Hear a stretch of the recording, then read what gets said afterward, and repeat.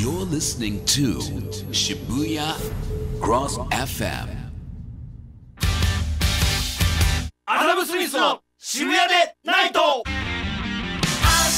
向かって未来へ向かってはい、皆さん、皆さんこんばんは。こんばんは。バラバラでございます。はいいやいやいや驚きましたね、もう。いつも驚いてんな来年の1.4そして1.5うん東京ドーム2連戦ということでございまして新日本プロレスが楽しみでございます。来年が待ち遠しい。プロレス大好き秋代です。よろしくお願いします。はいはい。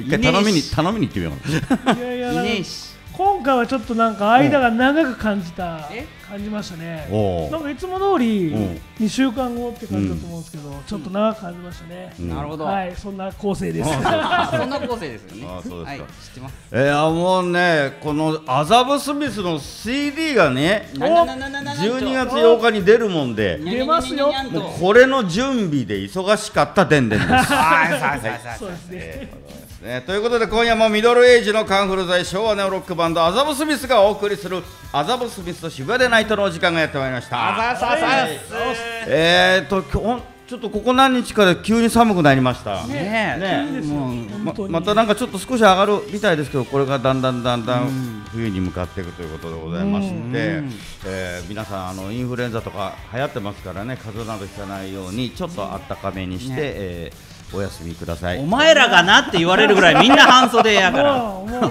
前らがな喋り出したほんまや。らもうねはい。ということでで、えーまあ、な寒くなってくるとやっぱりなおお鍋とかねおでんおとか鍋ねお鍋あの皆さんあの召し上がるんじゃないかと思いますけれども。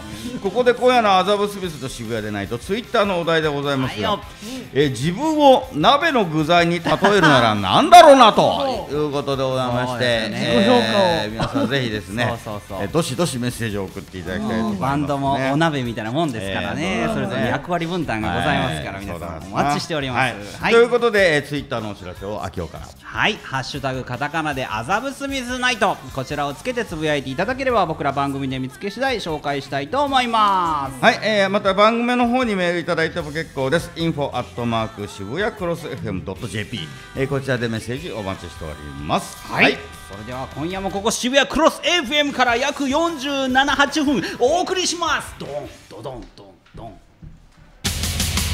声優さんカモンえーこのコーナーはこれからの活躍を期待されている政治さんをどこよりも一躍キャッチしご紹介する青互いのコーナーで。お互いだったんだね。はい、今夜のゲストを紹介したいと思います。はいもう2回目の登場になりますか。うんそうですねえー、井田ありさちゃんです。はいどうぞ。お越しくださいやんせ。あーいいっすねあいい感じですねあいいっすですよいいっすよよっ。前回も言ったけどアリさんありさ。やっえー、ということでございましてねよく聞いていただきましよた。うこそしていただきました。えーもう今日はこれで終わろうかな。もう終わ始まったばっかり始まったばっかり。始まった3分もまあ言ったばっかりやった。ということでねよろしくお願いいたします、えー、じゃあ、ありさちゃんからちょっと自己紹介を。あはい。改めてはいはい。はい、改めてましてあのアトミックモンキーから来ました井田ありさと申しますよろしくお願いいたしますはい、はい、もう素晴らしい。よろしくお願いしますもう素晴らしい自己紹介が素晴らしい。拍手も起こってますからね。あありがとうございす。ます可愛らしいね。可愛なは感じでございます。いやいやありがとうございますえー2回目の登場。い。理解もはい三重県出身ということで、今日はあの天皇陛下は三重の方にね。あおそうなんですか？えお伊勢さんの方にね。行かれましたそういう話を三重県情報が足りなかった、ごめんなさい、ということで、えー前回は確かあの着衣水泳とかね。ああそうですね。要は泳ぎがとても上手だということと、あとうさぎがはい。いるということで、そ飼ってらっしゃるということで。はい。なんか最近そのうさぎちゃんが変わったことはなかった？あー最近ですね。ええ。すごくやんちゃで。やんちゃで。であのリンゴをあげてたら手を間違えてリンゴと、おでガブッときて、うん。あ結構深くやられたと思ったんですけど、反省したあの可愛らしい顔してるのでいいよいいよって言ってあげたんですけど、ね、動物も結構反省する顔すそうるんですあのよね。顔ずるいんですよね。うさぎちゃんもそうなんだね。やっちまったみたいな。うさぎってそんなに強いの？そうですそうです。あの木をかじってあの歯を削り続けないといけないという動物なので。そうなん伸びですよ。続ける的な。伸び。続けます。最後こう伸びて伸びてほっとくと顎に刺さっちゃうと。ああそうなんです。そういう病気があって。病気がある。はい。爪みたいに伸びるんですねじゃあ。ちょっと大変ですよね。ずっと削り続けねるっていう。指をかましておかないと。指じゃない。指じゃない。指じゃない。指じゃない。うん。そんな身何を削ってでもね噛まれたところがね頭脳線だったのでちょっと心配なところがあそこ行かれましたか3分の1やられまして。三分の三一。持ってかれたな。半分行かれましたね。そうですなるほどなるほなんか最近あとはい。絵を見ることがちょっと好きになあら。あそうなんです。あの弟が大学進学をきっかけに三重県から静岡に引っ越しまして、おー。はいはい。であの静岡からまた東京に遊びに来てくれてちょっとややこしいんですけど、でそれで一緒にゴッホ展あゴッホ見展に行きまねして。みんな咳込むやつね。そっちのゴッホ。どんな展覧会なんですか？昴生頑張れ。昴生頑張れ。ちょっと見見づらいですかね。でなんかその、初めて絵画を生で見たんですけど、はいはなんか美術の教科書とかでよく写真が出てるじゃないですか、そうだねでも全然違いますね生で見ると。生は違う。そうなんです。こうちょっとね油絵の絵の具がこう浮いてあそうなんです立体感があって。立体感がね。チューブから塗ったんかっていうぐらいの盛り上がりを見せてて、うんなるほどなるほど。すごい迫力が全然違うっていう。そう。そう消せなんかオフランス。僕もあの絵よく見るんですけどオフランス行った時なんかはあのゴッホの描いたあのお店とかの橋とか見に行きましたあ素敵。はい、すげえ似合わねえ。びね。っくりする。なんかいつも。絵が浮かばねえ。その絵が浮かばね絵がだからオフランス行ったらあのモナ・リザも見てきましたけどね。モナ・リザ。ってモあナリザね。のちょっとね距離があるんだよね。あこうやって目のー前でこうあんま近く見れないでは見んでね。れないんだ。えへえだいぶね老眼の方も始まっている。そう。いうことではなくそうそういう。逆に近い方が見えんですよね。そうそうそう。あこっち。いろんな問題が、はい、でしたそうでしたか。いやそうなんですよ、ね、美術に目覚めたわけでございますな。ちょっと遅いんですけどなんかこれからでも、はい、いろんな美術鑑賞して、うん。ちょっとなんかこうオシャンティーになっていこうかなみたいなシャンティーいただきました。いいですよね。絵画とか彫刻とかね、こうあ彫刻。もそうね。フォルムとかね彫刻なんかもこう、あの名前忘れましたけどこう音が出る彫刻。音が出る彫刻。とかこうオオブジェをそういうの作ってる方とか。いへえあらなんか結構お詳しい感じで。やいやまあそれほど なんか教えていただけそうななんかあれ知識量が。それほどいやいやいやいやいや髪の毛そんなそんな書き分けるほどあれイメージこれなんですか？ね 帽子かぶってるちょいちょい自分をアピールしていくという感じでございますえーどうもすいません、さて、えーここでアリサちゃん今日はどんな曲をご紹介しはいあのー中学校の時からすごく好きな曲なんですけど、う天野月さんの真珠っていう曲でして、はい、これがですね、ちょっとあの天野月さんってちょっとホラーゲームのエンディングとかもされてて怖いイメージもあるんですけど。PV 怖いんですよ MV が本当見たことないけどそうなんだちょっとそういう世界観ありますもんねそうですね、なんですけどこの曲はちょっとなんですかねなんかこう爽やかというかしっとりというかあその中でも。はい、そんな怖くないという、ホラーホラーはよく見るんですか？そういうわけでも。全然見ない。全然見ないすっごいほら。ほら怖いです。お父さん今日飛ばしまくってますけどどうしたらいいかすごないやっぱり気温下がってせいかなそうだね。だいぶみんな凍えてる感じがありますけれどもい。や素晴らしいじゃないよね。拍車がかかっちゃう。だんだんお父さん冬眠に入っていくから。もう寝ちゃうんなか恥ずかしさから熱くなってきた感じはいじゃあそこでじゃあアリサちゃんが得意のこでじゃあ曲紹介を。はい、はい。失礼いたします。あなたは私を救い上げてくれた。だから今度は私があなたのためになりたい。それでは天の月で真珠お聴きください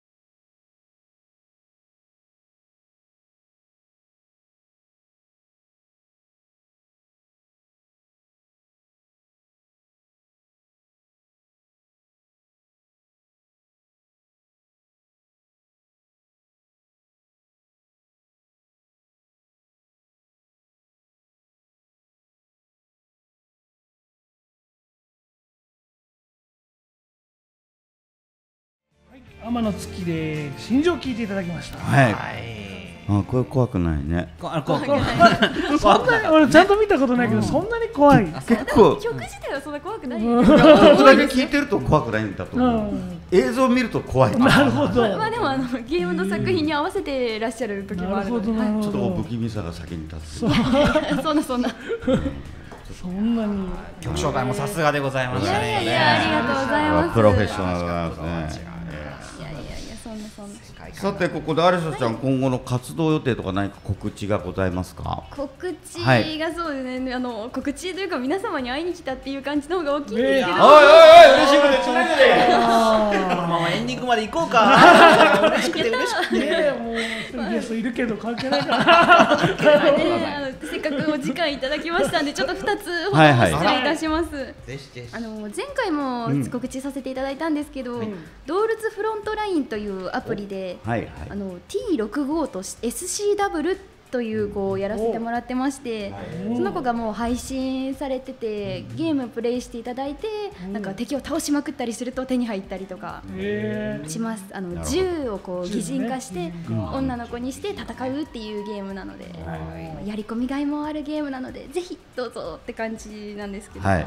あともう一つがあの、静岡県の学南電車さん。出た。での電車。はい、車内アナウンスの方を一部一部だけなんですけど担当させていただいてまして。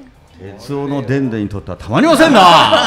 ちょうどー、でんで。んさんでまさかの。髪型はいろいろ魅力が出てきます初ね耳ですだからだからその学南電車って僕はあんまよく知らなくてさっきちょっと調べたんですけどね、あいいっすね。いいっすよ、ね。なんかこう昔走ってた井の頭知らせみたいなのが走ってましたりちょっと雰囲気のある感じの、調べすぎて打ち合わせにならなかったですからね、ずーっともう画像を見て画像を見てもう自分の世界に入ってましたけど。京王線の旧型が走ってたりしますからね、いや本当に。すごい、それも結構なねあの素晴らしい。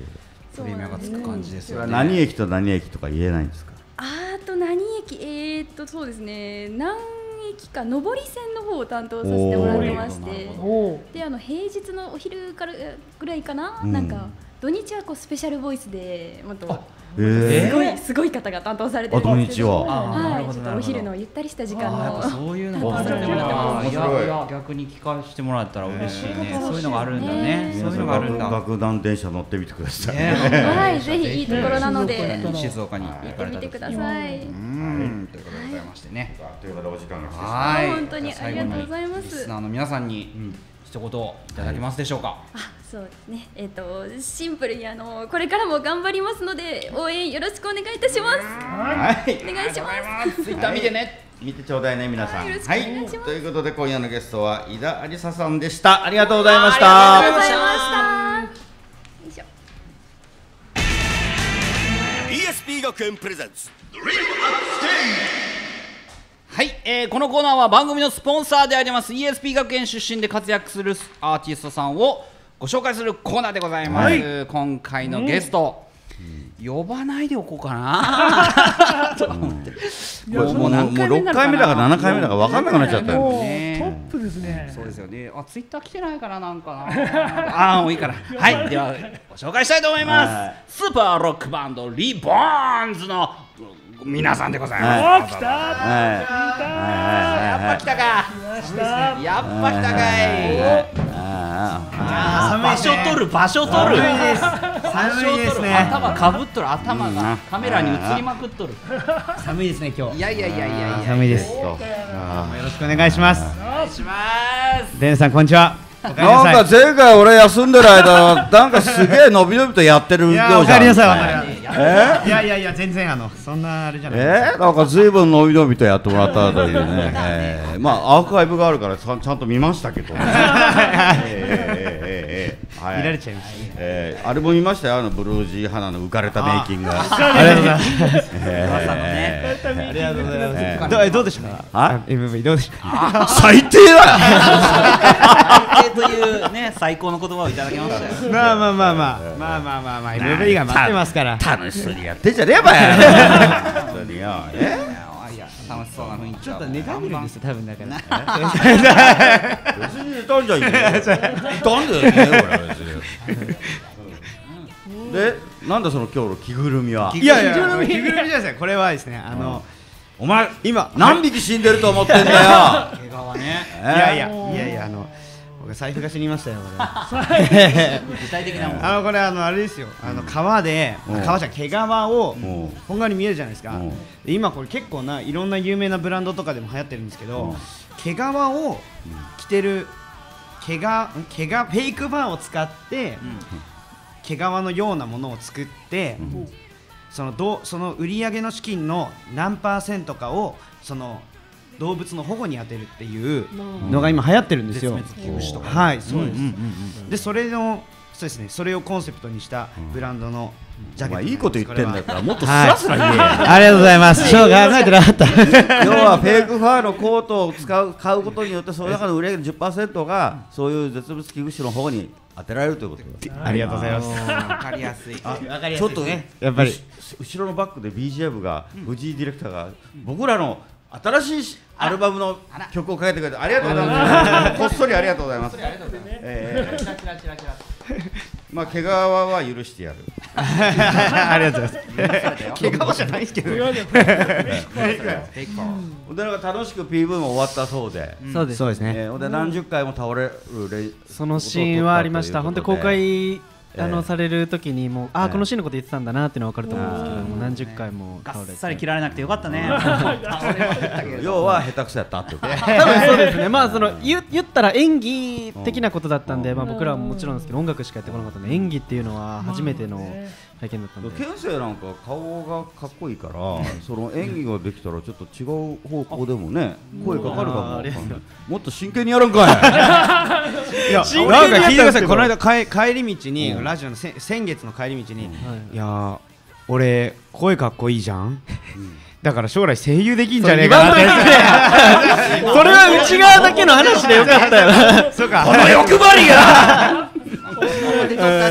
まあそんな話もしましたね認めたああの前回のアーカイブを見るとなんか宗近は割とこうねあの俺寄りの発言がえー非常に良かったと思います。めっちゃチェックしてるやんめっちゃチェックしてるやん、えー、なんか変わったことあった？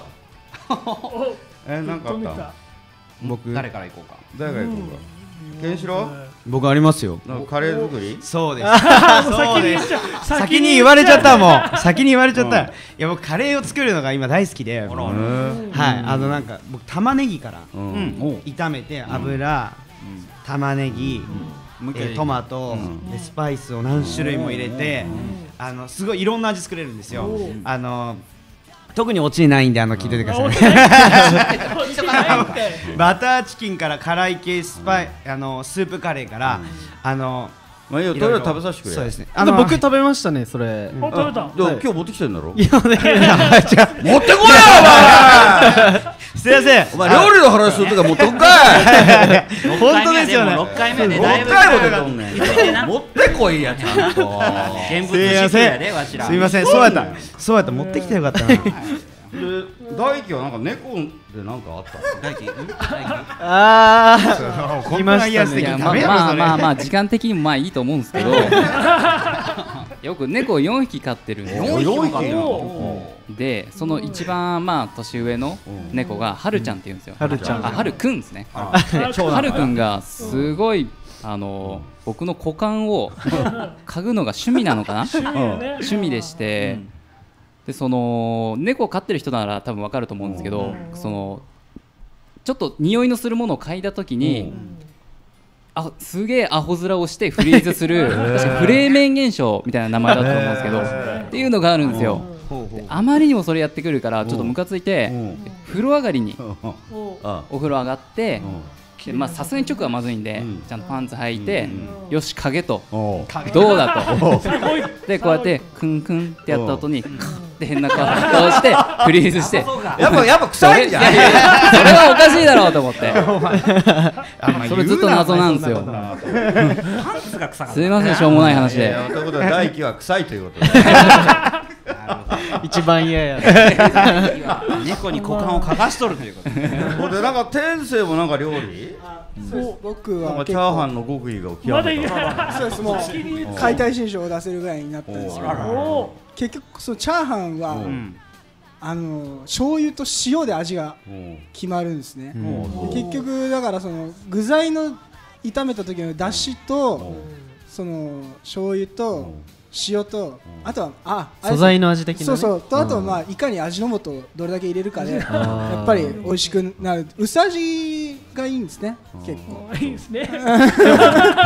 お前さっき好みか。打ち合わせの時薄味じゃあかんから俺こういうの作れるっていう話だったんちゃう？お前チャーハン極めるとな味よりもまずパラパラ感やあー確かに。それコツがあるんですよ。一撃必殺のコツがあるんですよパラパラは。先に卵を溶いてうん。入れるんですよフライパンに。うん。こうジャーって流し込んだ後にすぐにご飯を入れてこうガッてやるとそのご飯の一粒一粒に卵がコーティングされてパラパラになるんですよ。えーそうなんや。そうなんですそうよ。え？俺知ってるよ。え知ってる？んすか知ってたんかい俺それが面倒くさい人はあらかじめご飯の中にですね先にこう溶いて卵をあえちゃう。んですね。そうするとコーティングできるんでそのままフライパンでやると卵かけご飯をそのままあなるほどなるほど。お前大したことない 何気にデンデンは料理うまいからね。そうなんですか？俺うまいよ。ちょなんか。俺らさっきの会話何やった？ガンガン泳がしといてかっさらいか俺ちょっと胸力だけ聞かんと悪いから胸力ないそうですかね。最近。僕は寺的なところにお休みの日に行ってきまして。言ってたね。そうですね。なんか精進したいことがあるんかまあいろいろ。んいろいろ。いろいろ生活面でいろいろ。生活そうかでなんかそこの寺的なところにうん108個のなんか回したらなんかガラガラみたいな音が鳴るやつがあってうん。それをそれをあのー鳴らすとだいぶご利益があるらしいので初めてなんですけどちょっとやってみて一個ずつ。まずギター上手くなりたいなとかうん。なれますようにとかバンド売れますようにとか大きくなりますようにって言っていくんですけども108もあったらもうだんだん言うこともなくなってくるんで最終的にはもう世界が平和になります。よって笑わしい。ねそんなんやってきましたね。ほんまに思ってるかそれ。大気の股間が臭くなりませんちゃんとあの願いが叶ったらもう一回ちょっとお礼に行った方がいいですよ。それ皆さんやんないからダメなんです 一応でねこれでもお坊さんの位もらってんの。え？今日はさてえ？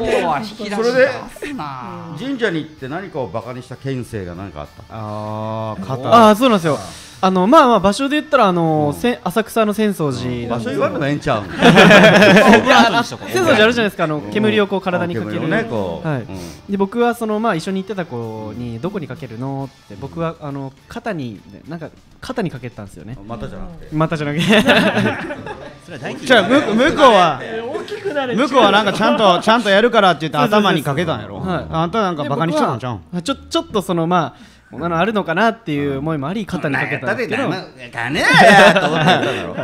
そしたらあのまあついえ今年まあ夏だったんですけど、あのくる交通事故車にバーンとひかれてで肩をぶつかったんですけどうん一番は肩がぶつかったんですけど、ま、全く肩は無事だったんですよね。へだからそれの利益があったのかなだから罰が当たって肩当たったっていうことですよね。だからそういうそういででもそういう事故に遭うことは運命だったのかもしれない。でもそれをこう守ってくれる。そうだねって捉えたんですけど、ちゃんと ちゃんと浅草にような俺。お礼に行かないとダメだよ。そうですね。毎年。はいはいということで。みんなの話をちゃんとコーティングしてくれたわけだ。うまいですね。さすがでみんなバラバラになってバラバラになって解散えええわさてえー今日も曲を紹介しなきゃいけないんですが。はい。紹介しなきゃいけない今日はなんか Shoot It Up。そうですね、はい。ね原点回帰になります。原点回帰。はい。はい。うん。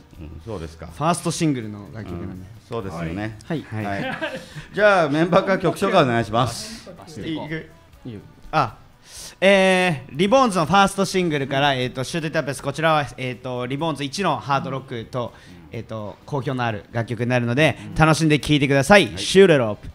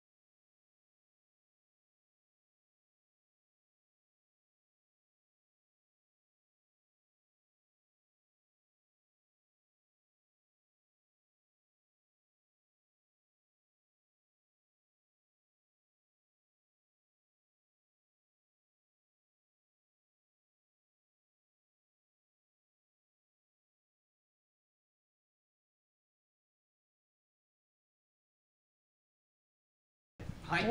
はい。はい。リボンズですありがとうございます。聞いていただきました。はい。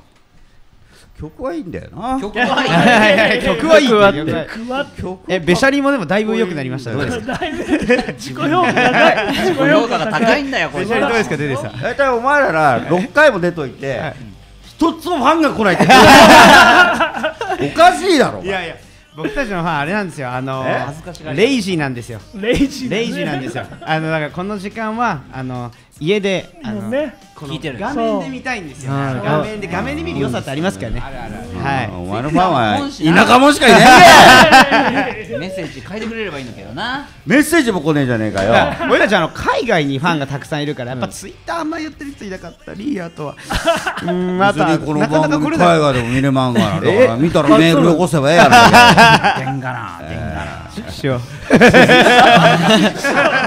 出てる出てる。今日は飲み取りさせんでえー、ということでございましてね、えー、なんかお知らせがあるんだよね。そうなんですよ。はい。活動のお知らせがあります。うん。まあえっとライブ神。かな。えっと側近のライブは11月の28日にえっと渋谷サイクロンではい。ありがとうございます。えっと8時50分から20時50分からえっとライブをねやります。はい。取り前で。でえっと12月の7日にえっとこれはあの ESP 学園、僕たちのあのサポートをいつもしてくれてる学園があるんですけれどもその学園のあのなんていうのかなイベントではい。ツーマンライブをやらせていただきます、こちらは無料になってます、なんで、はい、12月7日土曜日皆さんもしあの時間あれば2時から14時からなんですけどぜひ来てください、えーそれから、えー最後12月の21日、この日は、えー、とミュージックビデオの公開とともに1時間の仮想ライブをやります、えー場所は新宿ヘッドパワーで時間は20時からになります。なので皆さん、ぜひね来てください、で今日なんか MV の予告編持ってきたんだろ？そうなんです。じゃあミュージックビデオの予告編を持ってきました。その何がどう出るかわかりませんが、はい。その予告編を見てみましょう。はい。どうぞ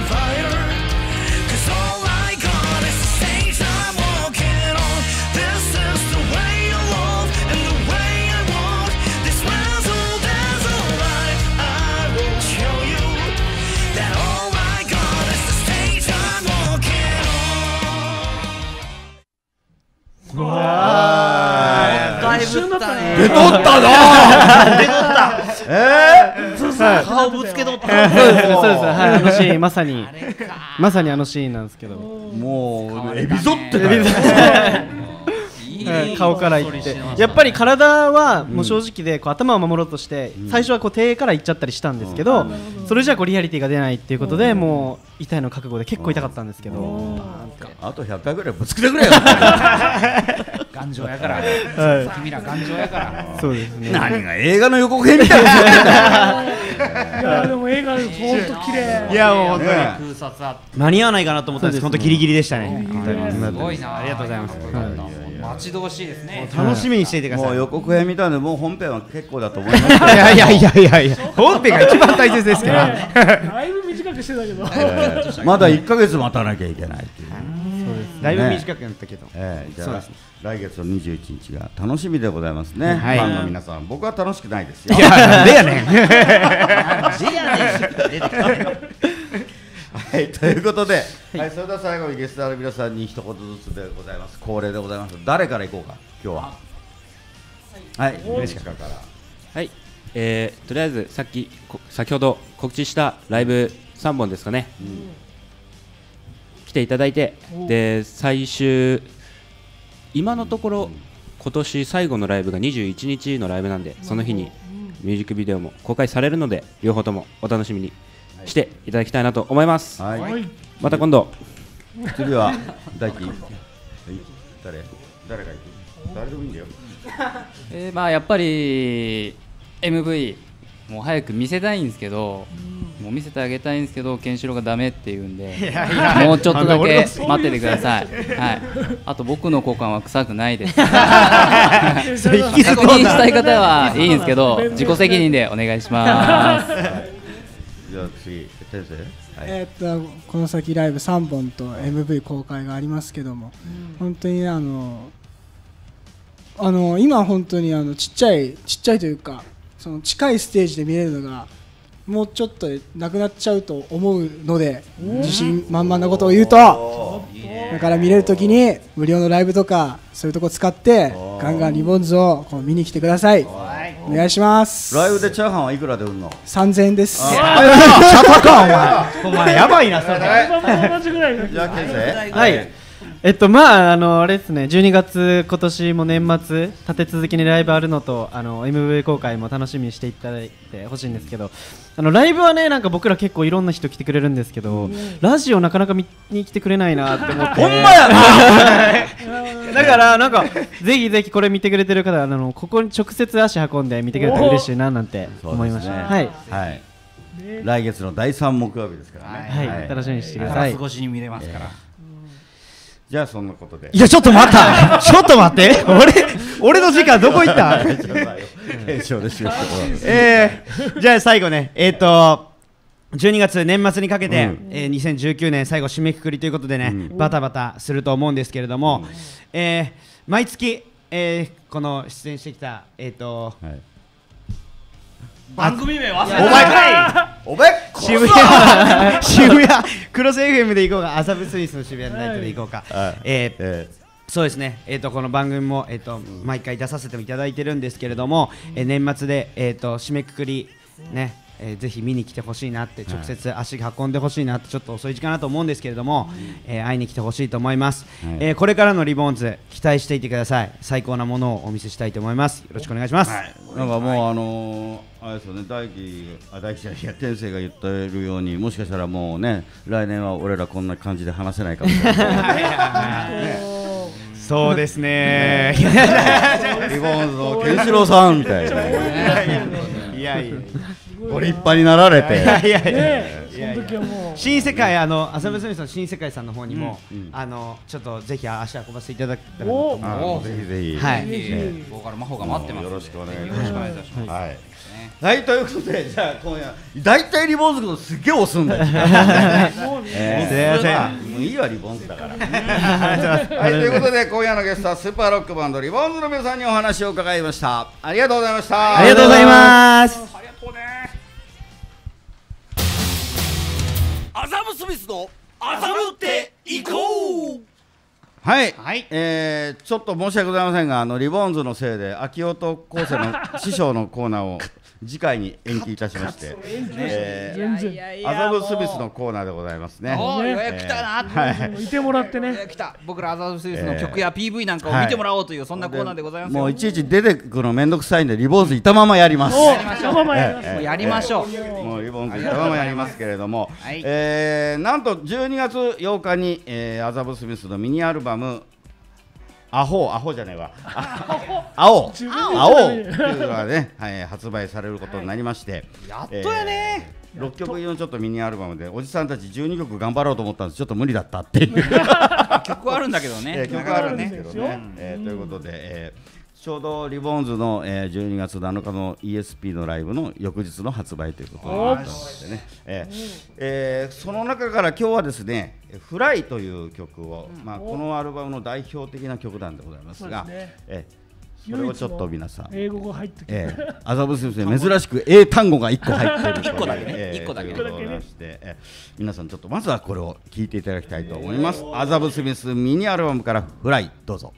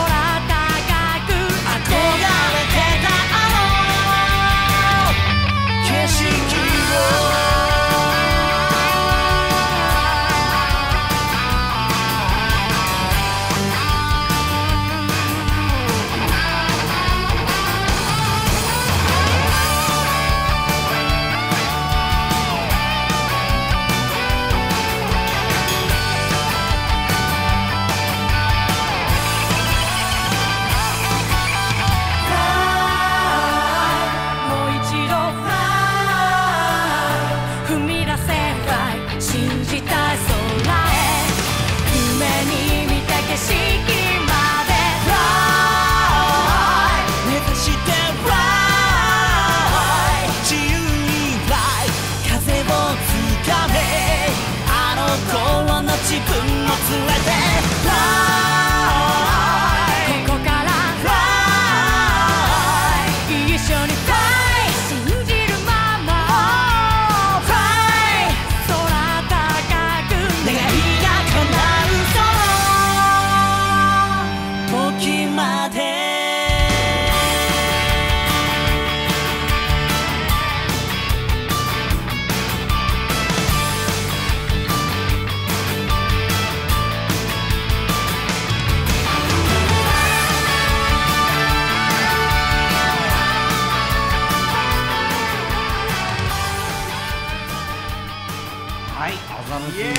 あーかっこよかった。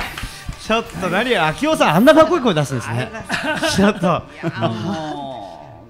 後ろの声の方がかっこいいかいらやいやいやいやいや。ということでございまして、このミニアルバム12月8日発売になってございますので、はい。皆さんぜひお買い求めください。久々に我々の番組で CD かけたね。えあそうだね。えー12 月8日にあとレコ発ライブを行います、はい。えー西麻布新世界、えー会場が17時30分開演が18時チケットが前売りが2000円で当日2500円。ちょっとお安めな感じで,、うん。でワンドリンク別になっておりますで他に出演がですねドクター・ワシントンジョーカーアリス・イン・ヘルが出ます、うん。えーアザブ・スミスは8時半半ぐらいの登場になりますのでね、えーはい。ぜひ皆さん見に来ていただいて当日ライブ会場で CD を販売いたします、うん。えーまた Amazon でも買えますのでね、えーそちらでお求めになっても結構でございますが、えーまだちょっと決まってないんですけども当日ライブでご購入の方には何かおまけがつきそうでございます。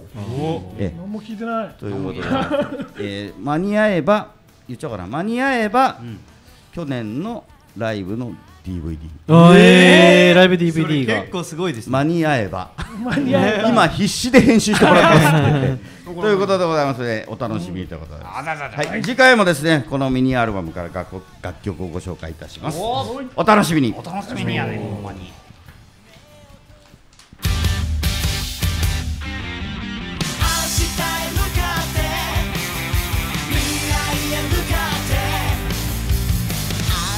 はい、えー、今夜のアザブスミスと渋谷でないと、えー、リボーンズと一緒にお送りいたしました。えーこんにちはありがとうございますリボーンズだらけでございます。えーありがとうございますえーということでございまして、はいえーまずちょっと声優の井田ありさちゃんどうでしたっけ、いやーやっぱりね。本当に曲紹介で一気に空気感が変わるやっぱプロの声優っていうのはこういうことなんだなと。ね。すごかったです。ね思い知らされましたね。素晴らしい。見事でございます見事でございまし皆たさん応援してあげていただきたいと思います。えーそしてリボーンズもう一回ライブの告知をどうぞ。はい。はい。はい。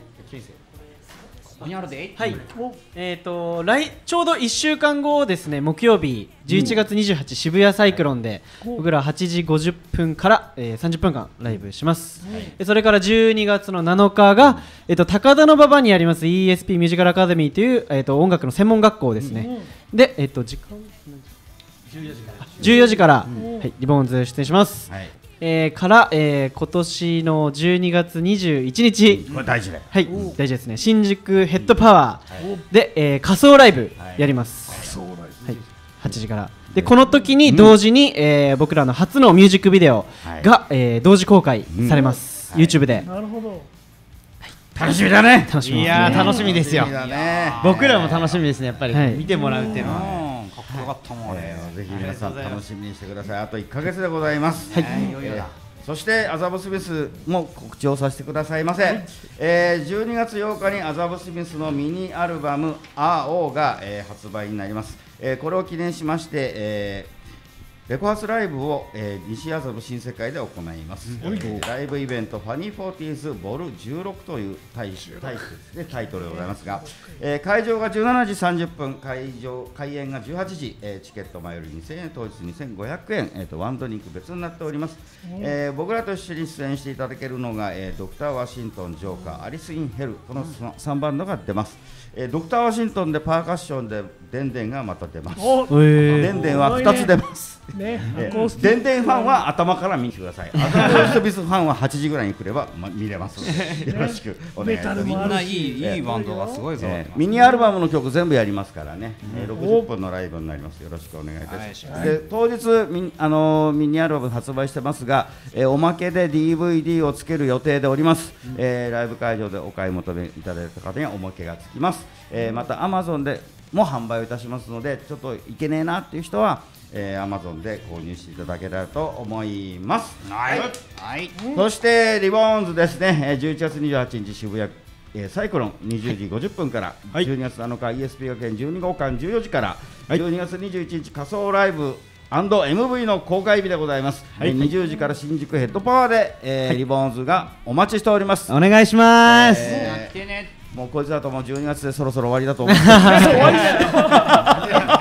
寂しいことを寂しいこと。旅旅立つんだねきっと。12月の第3、えー木曜日12月19日の放送でまたリボンズが来ますんで、フおァンねファンの皆さん、ぜひ最後ぐらいはたくさんここをお埋め尽くして目の前をいただいて。埋め尽くしてあげていただきたいと思います。ぜひよろしくお願いします。リボンズ、今日はありがとうございました。ありがとうございます。それでは皆さんまた再来週この時間でお会いしましょう。さようなら。さようなら